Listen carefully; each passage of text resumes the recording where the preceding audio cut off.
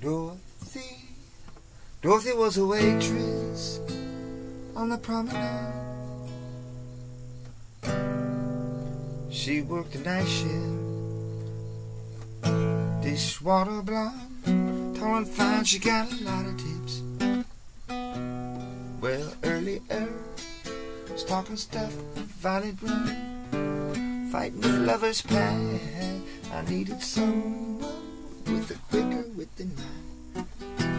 Dorothy was fast. I ordered, yeah, give me a fruit cocktail. I ain't too hungry. Dorothy laughed. She said, it sounds like a real man to me. Kinda cute. Do you wanna take a bath? Do you wanna? Do you wanna? I said, cool. But I'm leaving my pants on. Cause I'm kinda going with someone. She said, sounds like a real man to me. And if I turn on the radio. Her favorite song, she said, was Joni singing, Help me, I think I'm falling. Ring, the phone rang, and she said, Whoever's calling can't be as cute as you. Well, I was through right then. She was cute.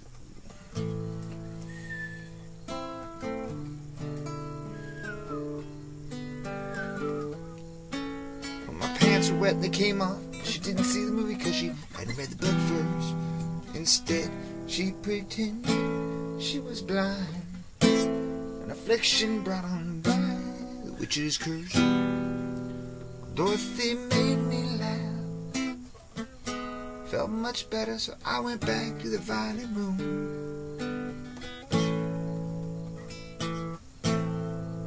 Let me tell you what I did.